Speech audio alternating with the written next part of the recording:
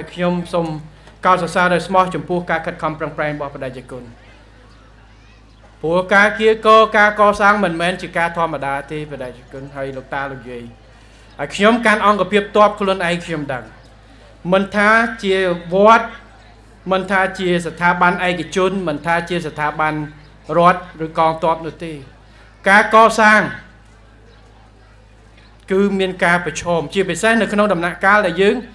គ្មានថវិកាជាតិថវិកាគឺយើងត្រូវការច្នៃប្រឌិតទាំងអស់ឬខ្ញុំចឹងទៅអង្គភាពផ្សេងយើងចូលរួមនៅក្នុងការជួយអង្គភាពផ្សេងដល់ពេលអង្គភាពខ្លួនឯងធ្វើទៅដើរគៀកគេឲ្យជួយដែរអញ្ចឹងគឺចែកម្លែកគ្នាទៅវិញទៅមកជួយតគ្នា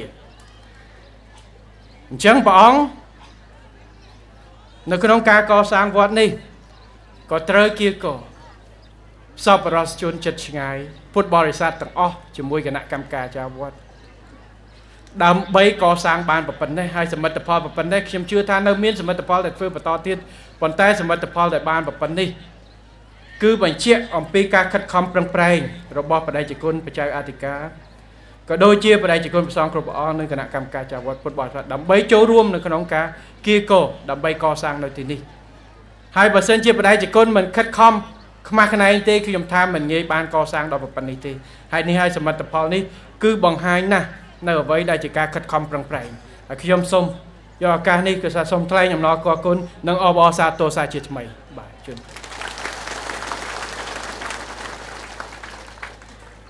ហើយសមិទ្ធផលនេះគឺវាកើតឡើងហើយការចែកម្លែកដែលសម្ដេចអាសាមានប្រសាសន៍ប្របីនៃការចែកម្លែក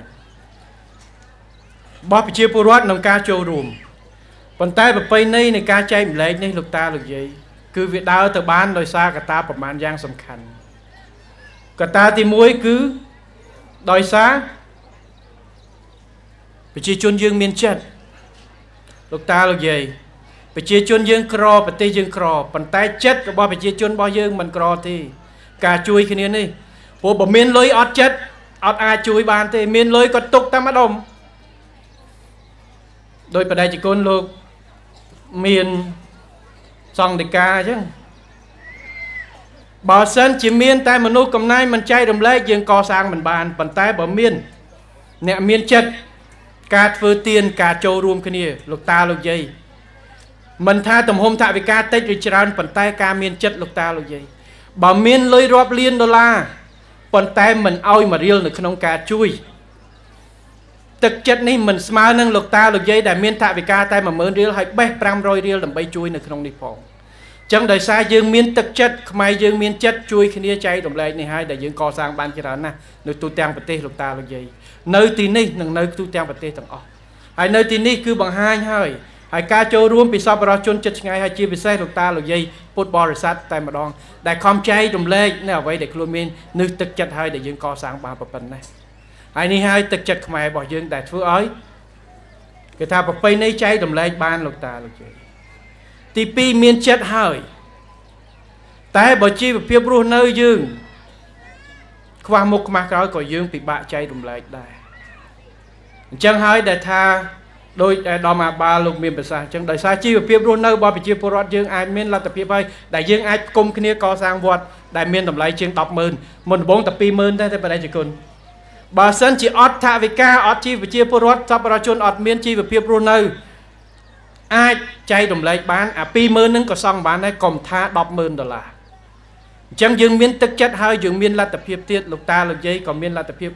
ចែករំលែកចូលគ្នាបានអញ្ចឹងដោយសារសុខសន្តិភាពហើយប្រទេសយើងរីកចម្រើនប្រជាពលរដ្ឋយើងមានជីវភាពរស់នៅល្អជាងមុនច្រើនអាចចែកប៉ុន្តែថ្ងៃនេះយើងជួបជុំគ្នាក្នុងការជួបជុំ ក្នុងមហាគ្រួសារខ្មែរនិយាយអំពីគ្រួសារលោកតាលោកយាយនៅទីនេះសមិទ្ធផលនៅទីនេះក៏អបអរសម្រាប់ខ្លួនលោកតាលោកយាយដែលកំពុងប្រតិបត្តិសាសនាកំពុងសូមតែសប្បាយរីករាយដែលបាន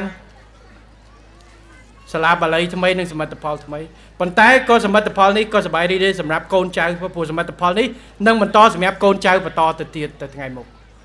សម្រាប់ភូមិឃុំយើងតែម្ដងដែលវត្តនេះកសាងពីឆ្នាំ1938 ចាប់ផ្ដើមឡើងប៉ុន្តែ ជាអកុសលពីនុងល្អ79គឺយើងកសាងបានឆ្នាំ60ជាងគឺសបោសបាយដល់ប្រទេសយើងធ្លាក់សង្គ្រាមវាខ្ទេចខ្ទាំទៅវិញ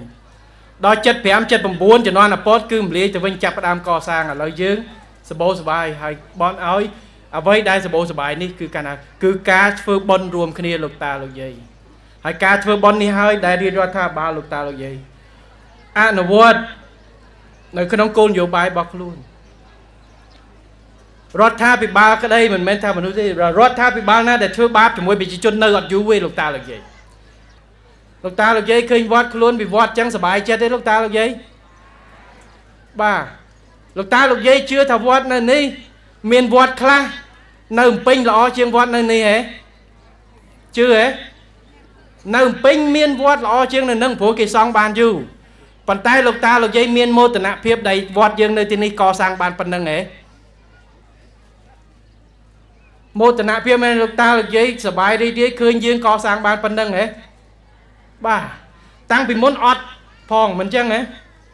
មានកន្លែងបេតុងចេះហ៎កាលមុនបាទខិតខំប្រឹងប្រែងបដិជគុណខំប្រឹងប្រែងបានប៉ុណ្្នឹងអញ្ចឹងយើងគួរតែមោទនភាពឲ្យលោកតាលោកយាយចូលរួមដូចគ្នា